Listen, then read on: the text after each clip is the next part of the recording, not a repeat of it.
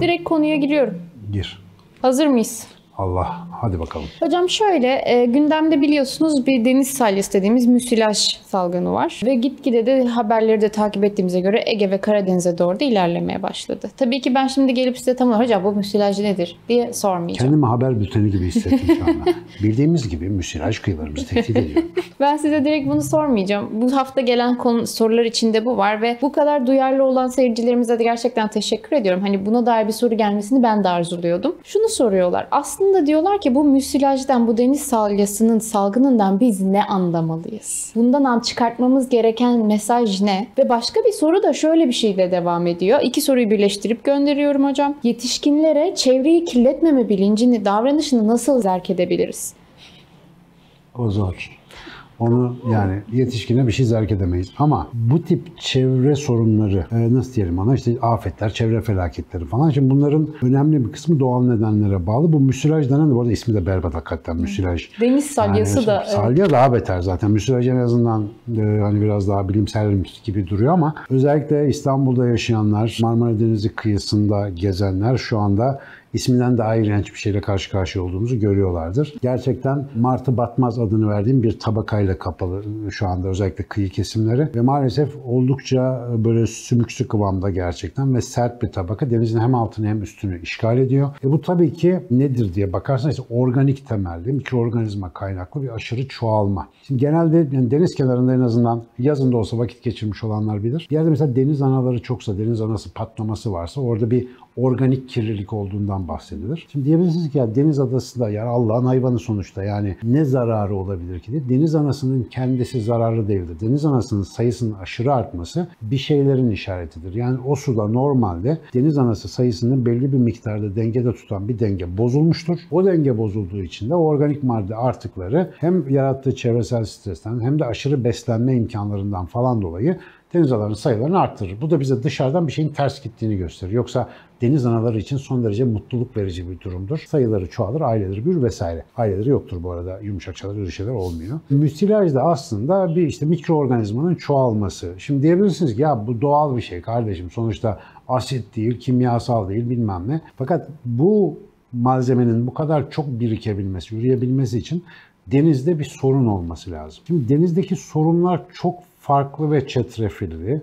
Daha doğrusu bizim çevreyle ilişkimiz çok boyutlu olarak çevreye zarar veriyor. Bunun neticelerinden ve bana sorarsanız hafif neticelerinden birisini şu anda müsilaj olarak yaşıyoruz. Tüm insanlar genellikle bugün bir şey yaşıyorlarsa ya geçen hafta ya geçen ay ya da en fazla geçen yıl bu konularla ilgili sorumlu olabilecek kişileri suçlama. Özellikle de bunlar devlet kademelerinde, belediyede şurada buradalarsa onlara bir fatura kesme konusunda böyle çok aceleci davranabiliyorlar. Bizim bir kere Marmara Denizi dediğimiz o deniz tamamen hakimiyeti yani bir ülke olarak hakimiyetimiz altında olan bütün kıyıları Türkiye Cumhuriyeti'nin elinde olan bir yer. Şimdi burası bizim aynı zamanda bir iç denizimiz. Malumunuz kuzeyde Karadeniz, batıda daha çok Ege Denizi ile bağlantılıyız. Ve burası hem dünya deniz trafiği açısından çok önemli hem de bizim full olarak bir tamamen bütün kıyıları bizde olan tek denizimiz. Diğerlerinin hepsini de başka ülkelerle paylaşıyoruz. Dolayısıyla buraya ne oluyorsa ağırlıklı olarak bizim sorumluluğumuz. Önce onu bir söylemem lazım. Şimdi bugün çok enteresan bir şekilde yani geçen gün kıyıda gezerken bir arkadaşımızla sohbet sırasında onu anlatmaya çalıştığım şeyi daha dün ya da evvelsi gün sevgili Dücenli Cündoğlu'nun anlattığını sosyal medyada gördüm. Çok da sinirlenerek söylüyordu konuyu. Son derece haklı olarak. Mesela işin şöyle bir boyutu var. Hepimiz böyle deniz kenarında oturup bu dalgaları izlemeyi severiz değil mi? Böyle işte kumsala fış fış romantizmin temel imajlarından bir tanesidir. İstanbul'da bir düşünün. Böyle denizden kıyıya gelen dalgaların vurabildiği ve salınabildiği kaç tane yer görebiliyorsunuz? Böyle kaç tane sahil kaldı? Sahillerin büyük bir çoğunluğu beton bloklar ve bir kısmı da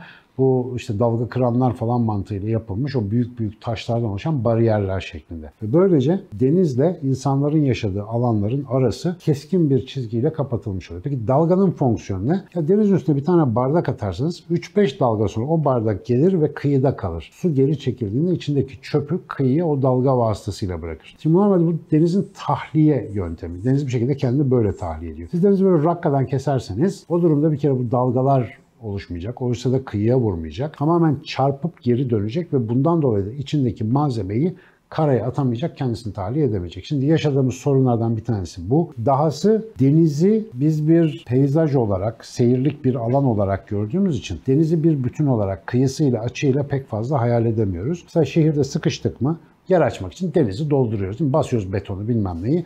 Üzerine yeni binalar dikiyoruz. Eskiden telaşlıydı yani bunun altı su bu kayar falan. Şimdi inşaat teknikleri de gelişti. 30 metreye kazığı çakıyorsun. Dünya yıkılsa ev yıkılmaz. Tamam onda bir sorun yok. Ama problem ne? O denizin yüz binlerce ya da milyonlarca yılda oluşmuş doğal bir yatağı var. Doğal bir sistemi var. Ve o denizin her şeyi ekosistemi, yosunları, balıkları, şunları bunları ona göre ayarlı. Sen kilometrelerce içeri girip de denizi böyle kapattığın zaman aslında denizin kendi ekosisteminden çalmış ve tamamen orayı yok etmiş oluyorsun. E bunun da bir bedeli olacak. Bunun bir örneğini ve çok acı örneklerini senelerdir Karadeniz'de yaşıyoruz. Karadeniz sahil yolu benim çok işimi kolaylaştıran bir proje. Gerçekten harika.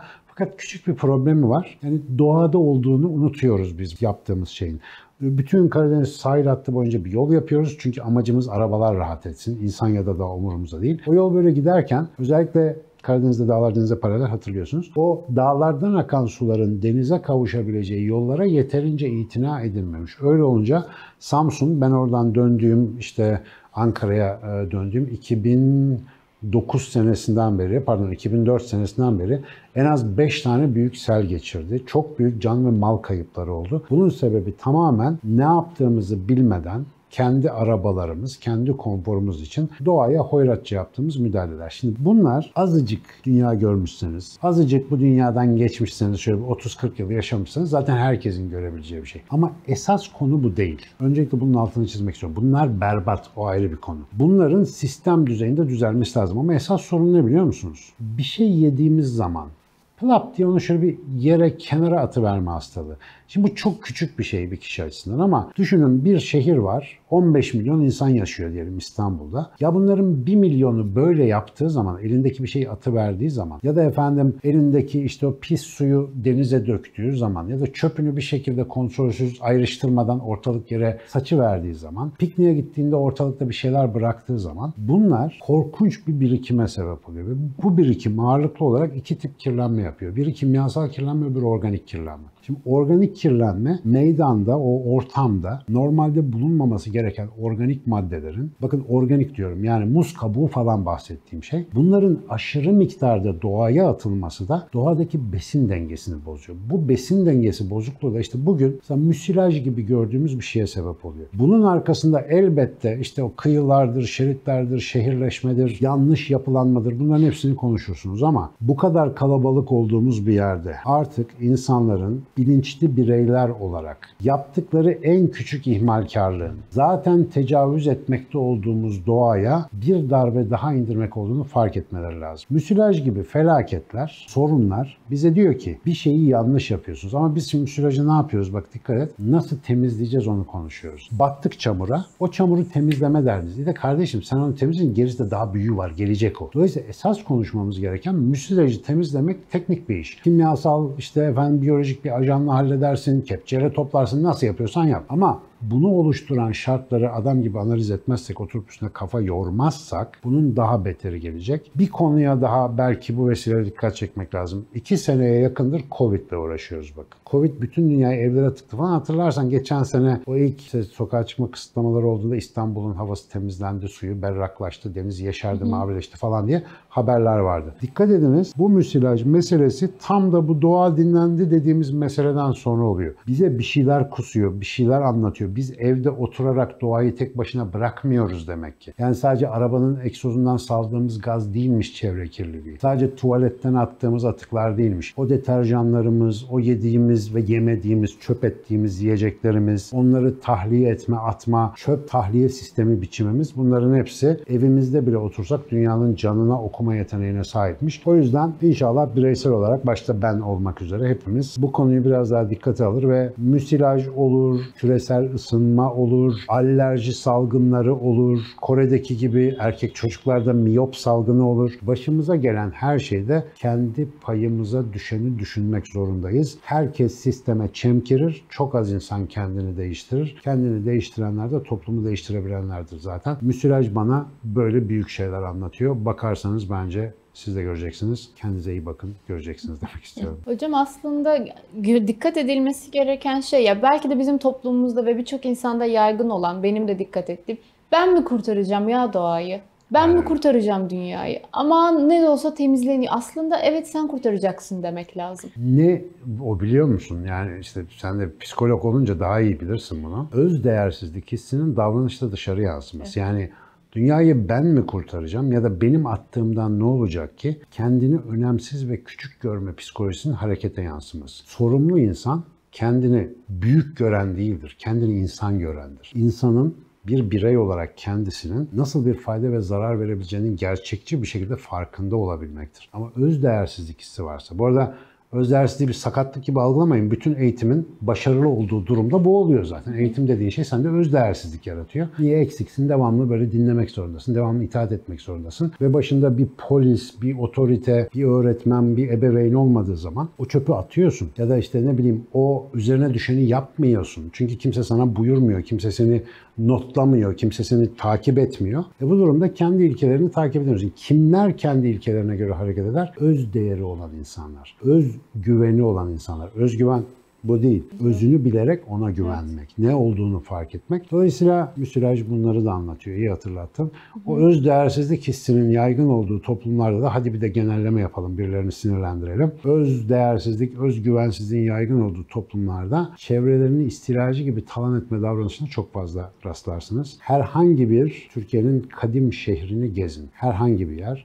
Çok az şehir bundan korunabilmiştir. Bugün o şehrin içinde yaşayan insanlar onu yağmalarcasına yaşarlar içinde. Tarihi yapılara saygısızlık ederler, kırarlar, yıkarlar. Güzelim bir medreseyi ya da kale surunu yıkıp yerine toki yaparlar. Böyle kanser gibi yayılırlar. Öz değersizliğin, özgüvensizliğin en açık göstergesidir. Özüne güvenen insan önce geçmişine sahip çıkar önce atasından miras kalanı bir dikkat gösterir. Maalesef inşallah bu yolda biraz mesafe almamız gerekiyor. Hocam ben bir de şuna eklemek gerektiğine inanıyorum. Öyle bir algımız var ki bu bahsettiğinizde eşdeğer olarak bir bütünün parçası olduğumuzu idrak edemeyen bir haldeyiz. Bireyseliz, ben zaten çok önemsizim gibi bir altyapıda hareket ediyoruz. Yani ben bunu atmışım ne değişmiş gibi bir hareket biçimimiz var. Küçüğüm, doğanın... geçiciyim, önemsizim. Evet. Bu yani kanser bu. Aynen. Küçüğüm, geçiciyim. Oysa bir şeyi fark etsek bir küçük parça olabilirim ama bütün sistemin bir parçasıyım. Aynen. Doğanın içinde bulunduğum, varoluşun içinde olduğum, birilerine etki ettiğim bir sistemin içindeyim idrakı geldiği anda zaten ben işte bunu buraya atayım olmuyor. Bunu buraya atarsam zarar veririm. Hem kendine saygı hem var olduğun ortama saygıya dönüşüyor. Bir İşte bütünü bir, ben idrak küçüğüm etmek. diyenlerin aslında beyin felçleri konusunu bir nöropatoloji kitaplarından okumalarında fayda var. Yani dikkate değmeyecek kadar küçücük damar bir kan patısıyla tıkandığı zaman o damarın hiç de küçük olmadığını fark ediyorsun. Bir sürü işlev gidiyor beyinde. Çünkü o damarın dallarının dallarının dalları belki gidiyor sizin aklınızı, fikrinizi falan yöneten beyin bölgelerinizi kanlandırıyor. Her bir insanda böyle kan damarları gibi farklı farklı yerde farklı farklı bir şey yapıyor. Küçük insan yoktur. Hepimiz Maalesef kendini önemsiz sanan insan vardır. O da dünyanın kanseridir zaten yani yapacak bir Ve şey. yok. bunun patolojik yankıları bambaşka bir sorunun konusu olur. Ekran karşısında hareketsiz kalmış, eğitimden uzak düşmüş çocuklar için harika bir haberimiz var. YDS Kids İngilizce Yaz Okulu başlıyor. İlkokul ve ortaokul öğrencileri için aquapark, trekking, okçuluk, at biniciliği, ebru, piknik, heykel, sinema ve robotik kodlama gibi aktivitelerle doyasıya eğlenen çocuklar yoğunlaştırılmış yüz yüze İngilizce dersleriyle İngilizceyi yaşayarak, konuşarak öğreniyor. Tüm eğitim ve aktivitelerimiz COVID-19 tedbirlerine uygun olarak organize ediliyor. YDS Kids Yaz Okulu, yaz dönemini fırsata çevirmek için %20 indirimle sizleri bekliyor. YDS Kids Yaz Okulu'nda hem İngilizce öğrenmek hem de harika aktivitelerle doğanın tadını çıkarmak için hemen bize ulaşın. ydsakademi.com 444 9 937 YDS Kids, İngilizce öğrenmenin en eğlenceli hali.